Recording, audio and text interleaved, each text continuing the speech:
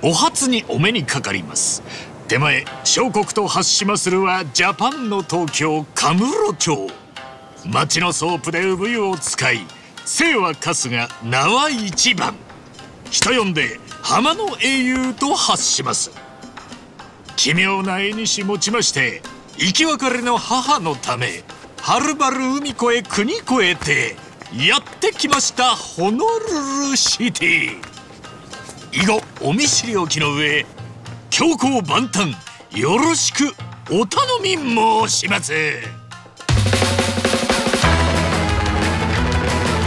私神室町のソープで産湯をつかい異人町で暮らしておりましたがサラリーマンが板についてきたね。まあコツコツやってるよ。俺と結婚してください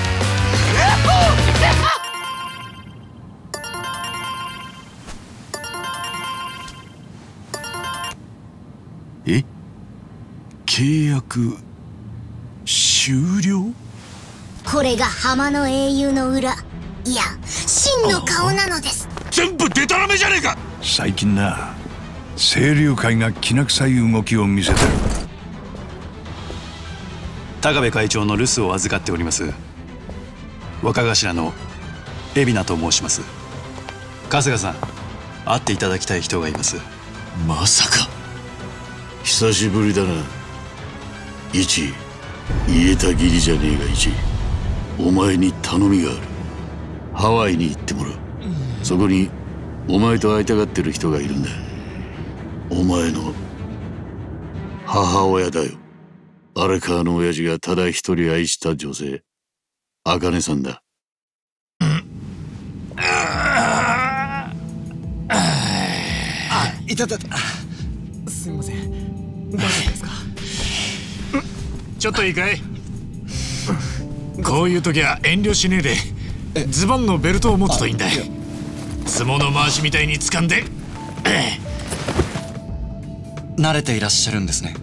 お互い楽しめるといいな。じゃそちらこそボンボヤージュボンボヤボンボヤージュ良い旅をって意味です。お もう着くのか？日本で調べた時はもっと郊外だと思ってたんだけど。へえそっか。そのくらいは調べてきてたのか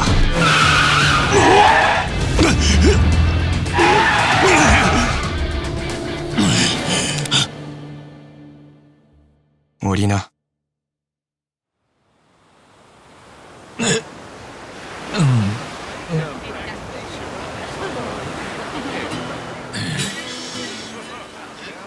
それで目が覚めたらビーチに寝てった。俺がどうかしたのか？それも全裸で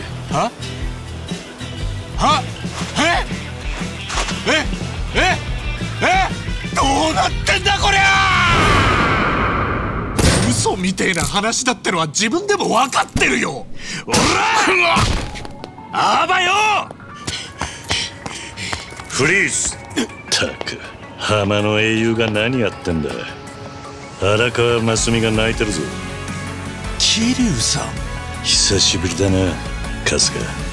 俺は一派の命を受けてある仕事に就いてるんだ。大道寺一派が茜さんを追ってるってことですか？富澤！くそら何やってんだよ。俺はお前の家族でも親友でもねえんだぞ。俺はとっくにダチだと思ってたぜ。お久しぶり春日さん。富士宮千歳と申します。お待たせしました。お世話になりますね。お前をはめたメイドだったな。茜さんにメイドがいるなんて聞いてなかったからよ。こいつはどう思うサンクスよろしくなちいちゃんはい？バラクーダに追われてるの？ハワイのマフィアだ。茜さんがバラクーダに狙われてるってことよ。私がバラクーダを仕切っているドワイトだ。あれもバラクーダか？中華マフィアですよ。ようこそ涅槃義士へ。見えてるか？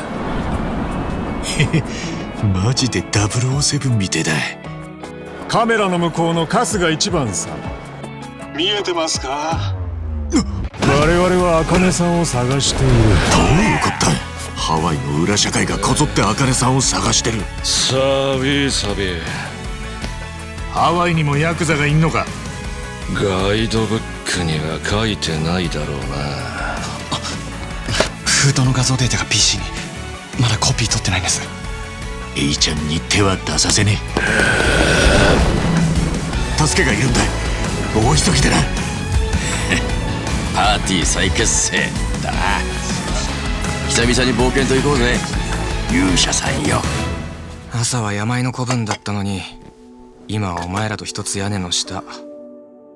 人生何が起こるかわからねえな。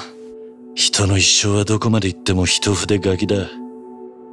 だから一瞬一瞬を一生懸命生きられる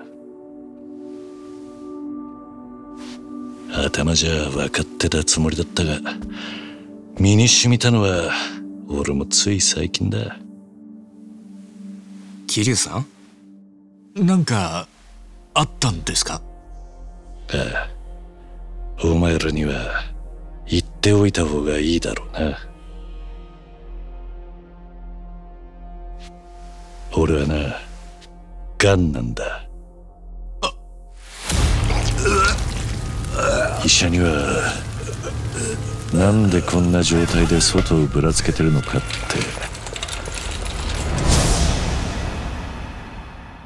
私は桐生一馬の家族です。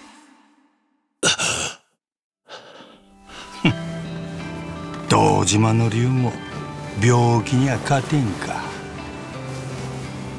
なんや老けたの桐生ちゃん桐生さんお互いいろいろあったみたいやなここで桐生さんにできることはありませんよとにかくあんたは少し休まねえと静かに余生を過ごすのもいいだろうだが俺は残された時間を少しでもやるべきことに使いたいそれが古いヤクザを生きちまった俺なりのけじめのつけ方だと思っている。桐生さん大変だ。ネットにタタラチャンネルが。本日のお題はズワイ死んだはずの超大物ヤクザ実は生きていた？です。というわけで今回はゲストをお呼びして解説していただきますつまり桐生一馬の死はでっち上げだった。大丈夫ですかね桐生さん。あんたが生きてることこんな大っぴらになっちゃって。もうついていたかさすが。早いな。遅いよ。何？このメンツ。困った時は頼ってくれよ。それがダチってもんだろ海老名と沢城には一言礼を言いに行かねえとなようこそいらっしゃいました。お前の目的はヤクザへの復讐なのか？第二次大解散真の意味での極道の解体です。我々には縁あってハワイにビジネスパートナーがいるんです。それがハワイの宗教団体パレカナです。ようこそ春日さん。桐生一馬の首。ヤクザにとってこれ以上の勲章はね準備はできてるな春日。やるしかねえ。ええ。やってやりましょうや。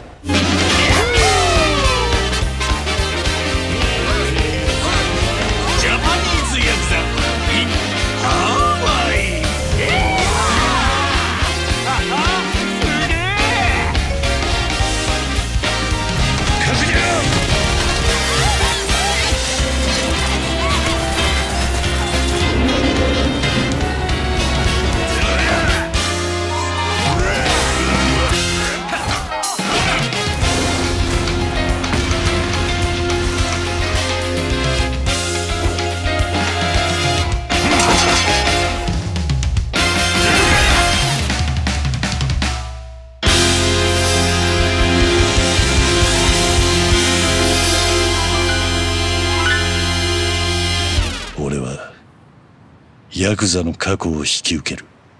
お前には、ヤクザの未来を頼む。